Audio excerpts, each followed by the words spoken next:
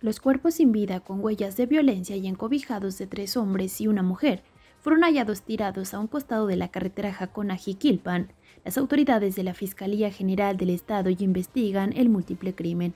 Fue la tarde del lunes anterior, cuando algunos automovilistas observaron varios bultos apilados junto a dicha vialidad, a la altura de la población de Emiliano Zapata, perteneciente a esta demarcación de Villamar, por lo que dieron aviso a las autoridades locales.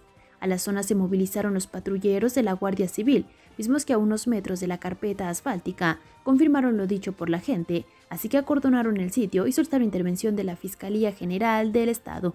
Durante las primeras diligencias efectuadas por el personal de la unidad especializada en la escena del crimen, los peritos confirmaron que se trataba de los cadáveres de tres masculinos y una fémina.